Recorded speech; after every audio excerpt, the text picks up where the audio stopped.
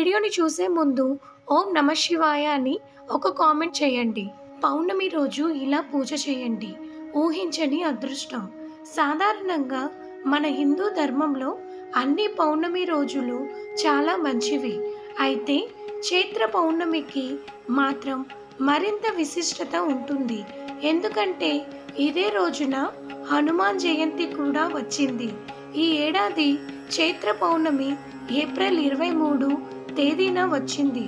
కాబట్టి ఈ రోజున ఎలా పూజ చేయాలి ఎలాంటి పరిహారాలు పాటిస్తే మంచిదో ఈ వీడియోలో తెలుసుకుందాం.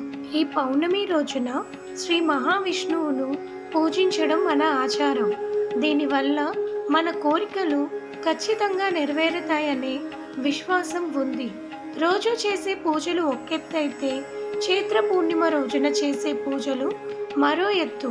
ఈ పౌర్ణమి రోజున చేసే పూజకు చాలా శక్తి ఉంటుంది. చైత్ర పౌర్ణమి రోజు ఇంట్లో చేసే పూజకి రెట్టింపు పుణ్యఫలం దక్కుతుంది. ఈ చైత్ర పౌర్ణిమ రోజున హనుమంతుడు కూడా జన్మించాడు.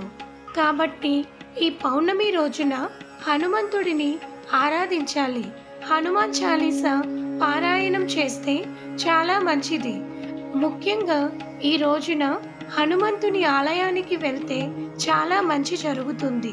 చైత్ర పూర్ణిమ రోజున దేవతలందరూ భూమిపైకి వస్తారట. పూర్ణిమ రోజున సమస్త దేవతలందరూ గంగా నదిలో స్నానం చేసి శ్రీ మహావిష్ణువును పూజిస్తారు. కాబట్టి మనం తెలియక చేసిన పాపాల నుంచి విముక్తి పొందాలంటే చైత్ర పూర్ణిమ రోజు ఏదైనా నదిలో స్నానం చేస్తే పాపాలన్నీ వినాశనమయ్యి స్వర్గలోక ప్రాప్తి కలుగుతుంది. ఈ పౌర్ణమి రోజున అనగా ఏప్రిల్ ఇరవై మూడవ తేదీన మంగళవారం రోజున ఉదయాన్నే నిద్రలేచి నదిలో స్నానం చేయాలి. నదుల్లో స్నానం చేసే అవకాశం లేకపోతే గంగాజలాన్ని నీటిలో కలుపుకొని స్నానం చేయవచ్చు. గంగాజలం కూడా మీకు అందుబాటులో లేని వారు స్నానం చేసేటప్పుడు గంగా గోదావరి కావేరి ఇలా పుణ్య నదుల పేర్లను తలుచుకుంటూ స్నానం చేసినా సరిపోతుంది. స్నానం చేసిన తర్వాత మీ ఇల్లంతా పసుపు నీళ్ళు చల్లుకోవాలి. ఇలా చేయడం వల్ల మీ ఇంట్లో ఉన్న నెగిటివ్ ఎనర్జీ అంతా తొలగిపోతుంది. తరువాత స్త్రీలు కుంకుమ బొట్టు పెట్టుకొని కాళ్ళకు పసుపు రాసుకొని ఇంట్లో పూజ ప్రారంభించాలి. ముందుగా దేవుని పటాలను శుభ్రంగా తుడిచి గంధం రాసి కుంకుమ బొట్లు పెట్టాలి. పూలతో దేవుని పటాలను అలంకరించి పూజ గదిలో నువ్వుల నూనెతో దీపం వెలిగించాలి. ఈ చైత్ర పౌర్ణమి రోజునే హనుమాన్ జయంతి వచ్చింది. కాబట్టి ఈ పౌర్ణమి రోజున విష్ణుదేవునికి ఒక దీపం అలాగే ఆంజనేయునికి ఒక దీపం వెలిగించాలి. అంటే ఈ పౌర్ణమి రోజున మీ పూజ గదిలో రెండు దీపాలు వెలిగించి పూజ చేయాలి. ఈ రోజున మీరు చేసే పూజలో తమలపాకులు తప్పనిసరిగా ఉండాలి. లేదంటే మీరు చేసే పూజ అసంపూర్ణంగా పరిగణించబడుతుంది. ఈ రోజున ఇంట్లో పూజ చేసేటప్పుడు హనుమాన్ చాలీసా జపిస్తే చాలా మంచిది. లేదా ఓం నమో నారాయణ అనే మంత్రాన్ని నూట ఎనిమిది సార్లు జపించండి. మీ ఇంట్లో ఆదాయానికి మించిన ఖర్చులు ఉంటే పౌర్ణమి రోజున కాళ్ళకి నల్లదారం కట్టుకుంటే మీ ఇంట్లో ఆర్థిక సమస్యలు ఉండవు. మీకు అదృష్టం వరిస్తుంది. అలాగే మీ పైన నరదృష్టి తగలదు. స్త్రీలు ఎప్పుడు కూడా ఎడమకాలికి మాత్రమే నల్లదారం కట్టాలి. పురుషులు ఎల్లప్పుడూ తమ కుడికాలికి మాత్రమే నల్లదారం కట్టుకోవాలి. మీరు ఎప్పటి నుంచో ఏదైనా ఒక స్థలం కొనాలంటే పౌర్ణమి రోజున మీ ఇంటి ముందు కొంచెం మట్టిని తవ్వి ఒక అరకిలో బెల్లంని పాతి పెట్టండి. ఇలా చేస్తే త్వరలోనే మీరు ఏదైనా భూమి కొనే అవకాశం ఉంటుంది. ఇంటి ముందు మట్టి లేనివారు పూల కుండీలు ఉన్నా సరే కుండీలో ఉన్న మట్టిని తవ్వి బెల్లం పాతి పెట్టవచ్చు. పౌర్ణమి రోజున సాయంత్రం మన ఇంటి గుమ్మం ముందుకు లక్ష్మీదేవి వస్తుందని నమ్మకం.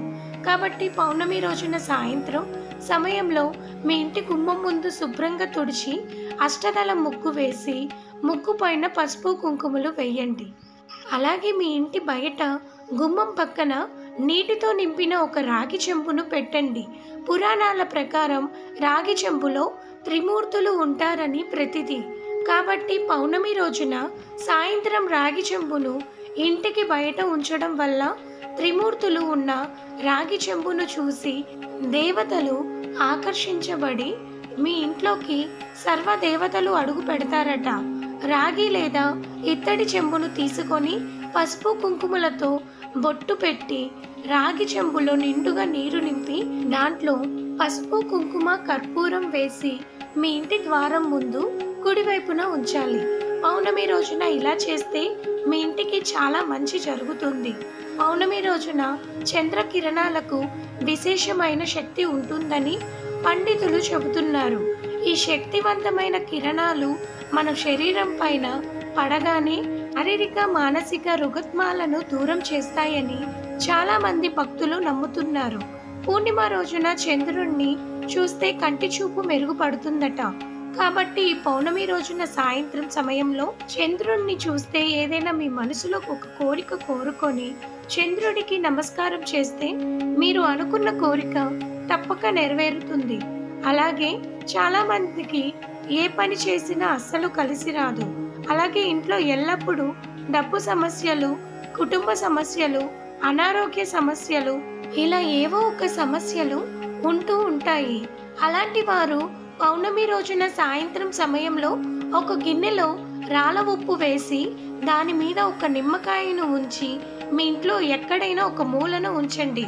ఇలా చేస్తే మీ ఇంట్లో ఉన్న నెగటివ్ ఎనర్జీ అంతా పోయి మీ ఇంట్లోకి పాజిటివ్ ఎనర్జీ వస్తుంది. పాజిటివ్ ఎనర్జీ ఉన్న ఇంట్లో ఏ సమస్యలు ఉండవు. అలాగే ఇంట్లో ఉన్న వారికి ఎలాంటి సమస్యలు రావు. మరి ముఖ్యంగా పౌర్ణమి రోజు విష్ణుదేవుణ్ణి మరియు లక్ష్మీదేవికి అంకితం చేయబడింది. కాబట్టి పౌర్ణమి రోజున విష్ణు స్వరూపమైన తాబేలు విగ్రహాన్ని పూజ గదిలో పెట్టి పూజిస్తే అష్టైశ్వర్యాలు కలుగుతాయి. విష్ణుదేవుడు ఉన్న చోట లక్ష్మీదేవి కూడా కొలువై ఉంటుంది.